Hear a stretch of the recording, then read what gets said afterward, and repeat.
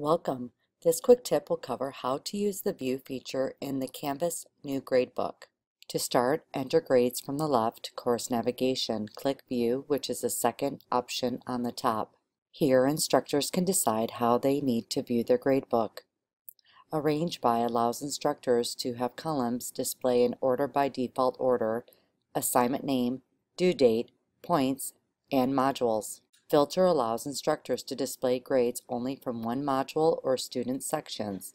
When module and or section is clicked, a drop-down menu will appear to the right of Actions. The instructor can then select which specific module to display assignment columns for, and or which students of the section should be viewable. Statuses show different colors that can appear in a grade box, depending on how and when the student submits an assignment, a color can appear. Here the instructor can edit the color and name of the five criteria. Next you will see options under the title column.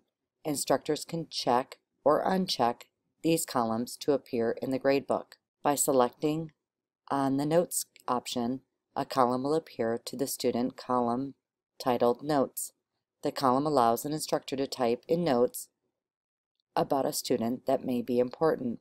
These notes are not visible to students in their gradebook. The final option in View is Unpublished Assignments. By default, unpublished assignments appear in the new gradebook. When an instructor turns the checkmark off, the unpublished assignments will disappear. Students will not see unpublished assignments in their grades link. You have just learned about using the View feature in the new gradebook. Please check out our other videos for more quick tips.